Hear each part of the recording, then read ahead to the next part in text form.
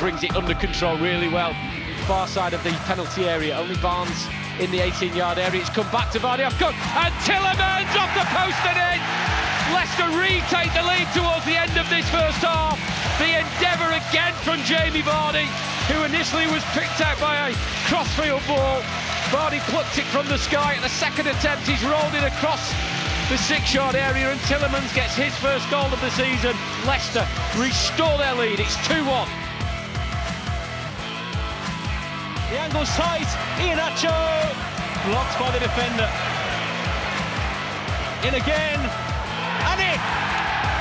Youri Tielemans wraps it up for Leicester City, right in front of the away end. They enjoyed that. And if this result was in doubt before, it certainly isn't now. Leicester City lead by three goals to nil. Belgian back wide. Nicely worked. Down the right hand side, the cross comes in early, touched on by Barnes. It comes to Tielemans! Lovely stuff from the Belgian. Everyone was waiting for the net to ripple. And he didn't disappoint. Lasting from close range. And Leicester have turned this one around. It's handshakes in the director's box from top. And that was a top, top finish. Fantastic finish from Tielemans.